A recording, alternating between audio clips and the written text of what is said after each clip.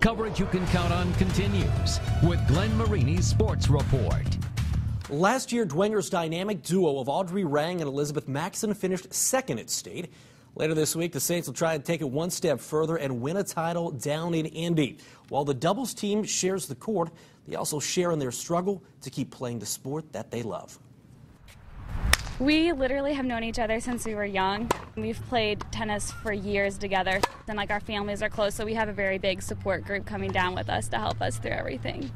While Elizabeth Maxson and Audrey Rang seem like the perfect pair on the tennis court, this talented tandem shares more than just tennis, as both are dealing with a debilitating injury.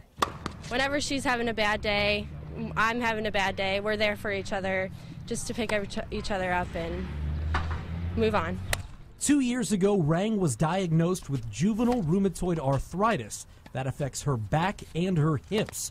About the same time, Maxson was told she had bulging discs in her back. Both have persevered through the pain of rehab with the ultimate goal of winning a state championship.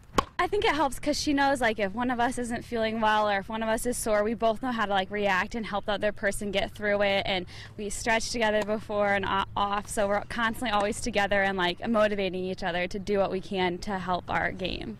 It does prove to myself and my family too. Um, my family was my biggest supporters, and they always told me that I could do it. And so now that we're here, it's good can help people that might have back injuries or hip injuries in her case like to show that don't give up and try to like do what the do what the doctors tell you and work through it and strengthen yourself because you can do anything i mean you can go back into it for sure Rang and Maxson take on the doubles team from South Bend St. Joseph's Friday at 10 a.m. The winner moving on to the state quarterfinals Friday afternoon.